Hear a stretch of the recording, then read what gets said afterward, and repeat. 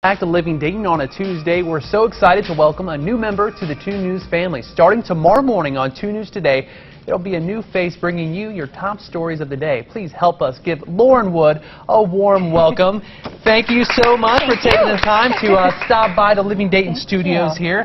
How's uh, the Miami Valley been treating you so far? You were just saying you just got into town on Sunday. On Sunday, yeah. So kind of a whirlwind tour so far. Um, had dinner with family yesterday evening. It's great. I have a lot of family here. My grandmother was actually born and raised in the area, so uh, great to connect with family that haven't got to see in a while. And there's your grandma right there. She graduated from Botkins. There's her senior class picture, uh, 1944, Botkins High School. There's uh, she had five brothers and sisters. Uh, she was actually the only one who moved away.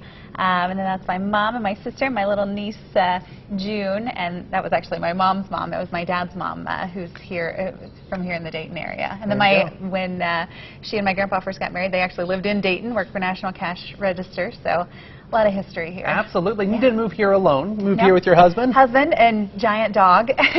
we, uh, my husband Nathan and I got married about four years ago, and um, we just adopted uh, Newfoundland in April.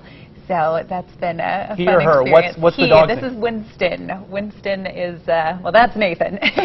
but Winston, uh, Nathan and I were actually uh, high school sweethearts. There's Oh. the giant dog. That's what everybody wants to see. Well, that dog is so cute. Uh, Dominica, our executive producer, and I were just looking through your pictures and saying, "Man, that looks like a." That I bet was he's him spoiled too. He was, that was him the day he was rescued. Um, he was tied up behind somebody's house. Uh, he'd been without food or water for three days when they found him in the middle of the summer.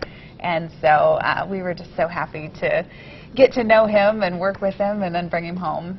Look at that. The dog Yeah. mom, she's going to be your new morning anchor as well. And now, a quick little lightning round, uh, just because I got to know you a little bit. Yeah. So, uh, favorite movie of all time? Oh, goodness, favorite movie? Um, oh, that's a tough one. Um, it's a Wonderful Life. It's a pretty- I it's can a watch wonderful that all movie. year, all year round. And what CD do you have in your uh, car right now? Jackson Browne. Jackson Browne. Jackson Browne. I'm a classic rock girl.